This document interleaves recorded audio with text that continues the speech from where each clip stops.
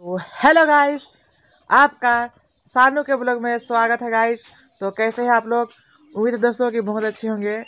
तो आज का इस ब्लॉग में देखने वाले हैं छोटू क्या कर रहा है? चलिए गाइस हम लोग देखते हैं। काफ़ी ठंडा बढ़ गया है गाइस हम लोग टोपी पहन लिए हैं। चुंदी वाला टोपी आप लोग देख सकते हैं। इधर जैकेट भी पहन लिए हैं। इधर छोटू अपना आग जलाने के लिए लकड़ी ले रहा है। हाँ इधर से दिखाते हैं। हाँ वो रहा है। छोटू चाय बनाने के लिए घर ले रहा है। लकड़ी। अभी आग जलाएगा छोटू। तो आपके गाँव देहात में या तो शहर में ठंडा लग रहा है कि नहीं? यदि ठंडा है तो कमेंट में बताइए गाइस कैसा ठंडा है? कितना बढ़ गया है? अभी आप देख सकते हैं, ठंडा का मौसम है। पूरा काफ़ी ठंडा बढ़ गया है गाइस अब जीतू इधर आग आग जला रहा है। माँ इधर लकड़ी लाई है जंगल से। अब इधर जीतू आग जला रहा है। चलिए दिखाते हैं आप लोगों को।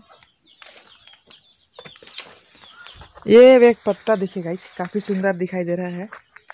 है ना? इधर माँ लकड़ी लेके आई है जंगल से। इधर जीतू आग जला रहा है। जीतू इधर हा करो। हाय।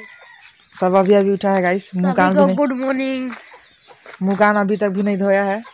हम भी नहीं धोए हैं लेकिन वीडियो बनाना स्टार्ट कर लिए हैं गाइस तो चलिए हम लोग फटाफट से आग जलाते हैं।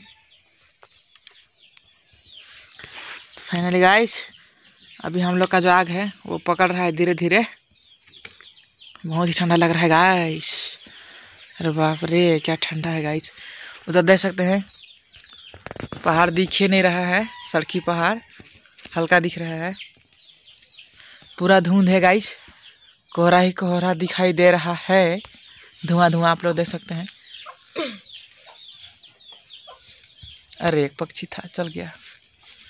इधर भी कुछ नहीं दिखाई दे रहा है। बस सामने सामने का केवल दिखाई दे रहा है गाइस बस हम लोग का आग अभी तेज हो गया है। जीतू दूर भाग गया है सेक रहा है इधर।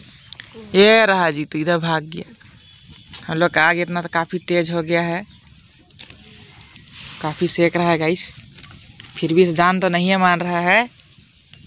आग तो तपाना ही चाहिए। काफ़ी ठंडा लग रहा है गाइस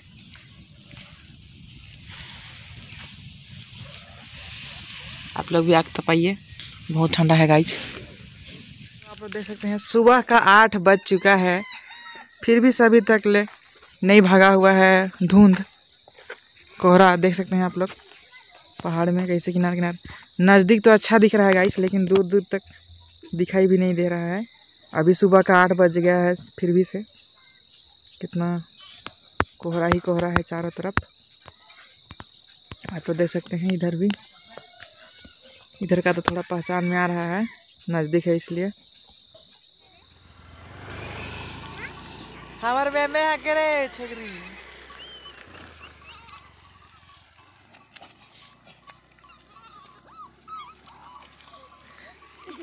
कहाँ लगा था रे?